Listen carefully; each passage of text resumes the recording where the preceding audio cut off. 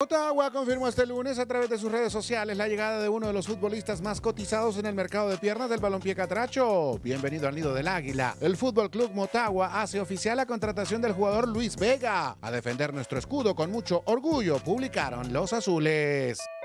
El jugador argentino Ramiro Roca tendría un destino muy diferente para la siguiente temporada tras su eliminación en la Liga Nacional con Real España a manos del Olancho FC. Múltiples reportes desde Guatemala confirman que el regreso de Roca al fútbol chapín es casi un hecho de cara al próximo campeonato de la primera división del balompié guatemalteco. Ramiro Roca estaría cerca de regresar al municipal.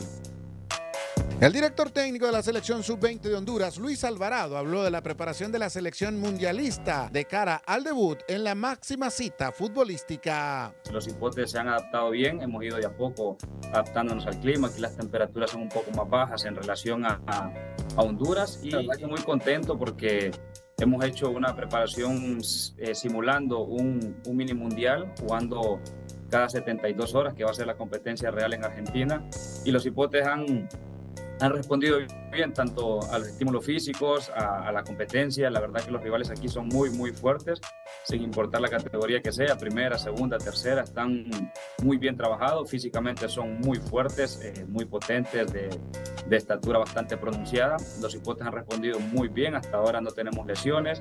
En la parte futbolística se han adaptado bien, el volver a estar juntos, el volver a retomar los contenidos, los conceptos, los comportamientos que queremos para ir a, a hacer el Mundial.